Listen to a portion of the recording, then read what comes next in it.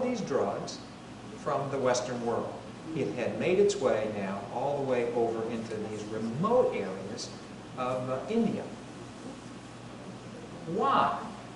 Well, these are reasons cited, better standardization, enhanced potency, ease of administration, widespread availability, and there are also economic interests that are involved. We couldn't leave that out. But has all this really been the blessing that we could hope for? This is, now bear in mind, these statistics are from the mid-90s. And we'll go up to the present, 2009, okay? 1994, two, over 2 million hospitalized patients had serious adverse drug events. 106,000 persons lost their life. And to give some comparison, some perspective, in the Vietnam War, we lost 57,000 men. And that was over the years of the Vietnam era. And this was one year from drug events that occurred just in the hospitals. Okay?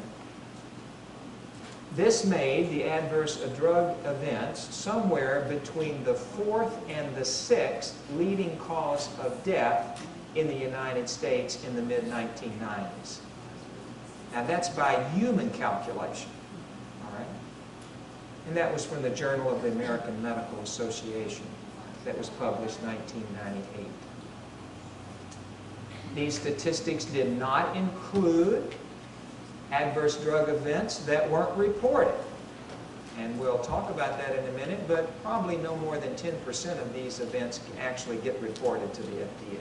That's, that's the most. Did not include those adverse events that occurred in a physician's clinic or office practice, those that did not require hospitalization, those resulting from errors in medication or administration. It wasn't that. It was just related to the drug itself.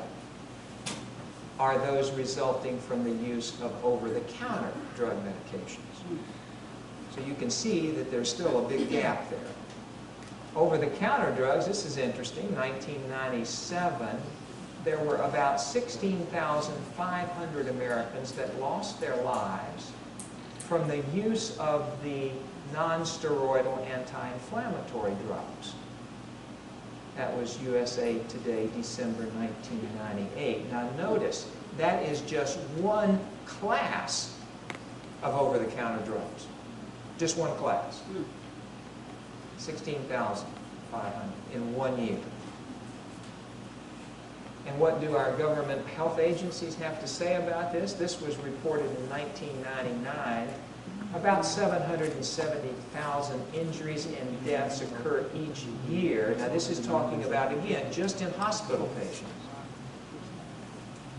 Counting, accounting for about $5.6 million per hospital in this country just to take care of the adverse effects that are occurring in the hospital.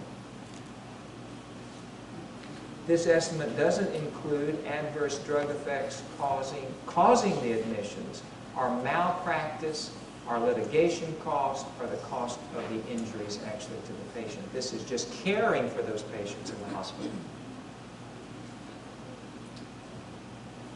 National hospital expenses to treat patients who suffer ADEs during hospitalizations are estimated between one and a half and five point six billion dollars annually. Now this was from our own U.S. Department of Health and Human Services Agency for Healthcare Research and Quality, 1999. So you can see that there was an alarm that was going out now that physicians, in fact, I remember receiving this bulletin, physicians, please monitor your practice more closely because these are the problems you're getting into. Hmm. What about more recent statistics? Are they any more encouraging, do you think? 2005, now we're up 10 years later.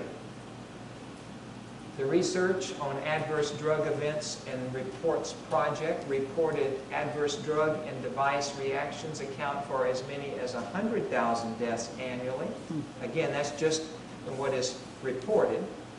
In general, more than half of the most serious adverse drug reactions have been discovered seven or more years after the drug has been marketed. And that means it just hadn't been given long enough to enough people to be able to detect the problem. Okay? That was from the Journal of the American Medical Association, 2005. 2006, what hath antibiotics wrought? The nightmare of Clostridium difficile enterocolitis.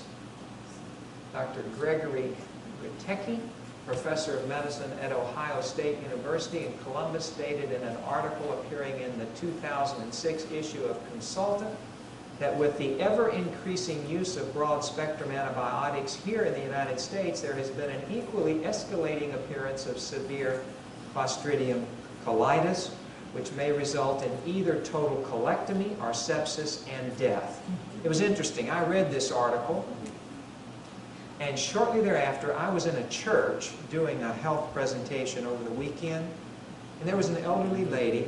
We were talking about a few of these issues. She had just lost her husband from this. Mm-hmm. He was uh, an elderly gentleman who had a urinary tract infection. He went in and was given one of the macrolide antibiotics. I think it was uh, or Cipro or something like that. And uh, after a few days, he started to have a little diarrhea. His son was a physician. So mom called the son. Dad is not feeling well. He's got a little tummy upset, starting to have diarrhea. And the physician immediately recognized the potential problem and said, Mom, stop the drug. Well, she called the physician who was in charge to discuss this with him, and he wasn't at that time impressed too much with it. He said, well, let's give it a little time and, and watch and wait. And so they didn't stop the drug then. They continued it for another few days, and he ended up dying as a result of this toxic colitis that had developed.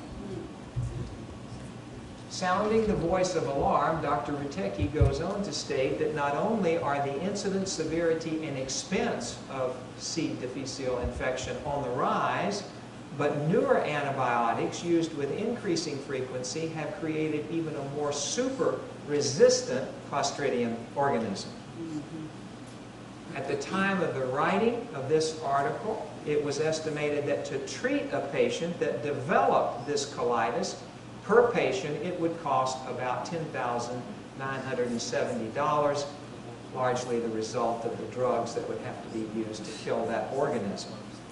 Resultant healthcare cost for treating it was estimated here in this country to exceed $1 billion a year, just for that antibiotic problem, associated problem. And so he, he, he recommended the best course of action to take is what? Antibiotic stewardship with restraint. Doctors, don't be so quick just to throw that drug out. Okay? And the ones that were mentioned were those that we talked about, the fluoroquinolones, clindamycin, cephalosporins, or combinations of those.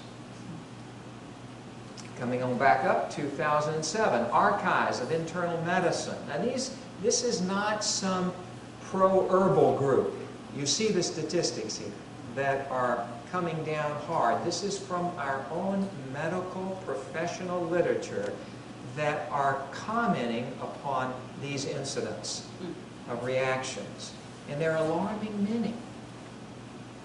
Archives, Internal Medicine, 2007, U.S. Food and Drug Administration has operated this reporting system since 1998. It collects all voluntary reports. Nice, it's voluntary to report these adverse drug events submitted directly to the agency or through the drug manufacturers. From 1998 through 2005, in this study time, They reported serious adverse drug events increased two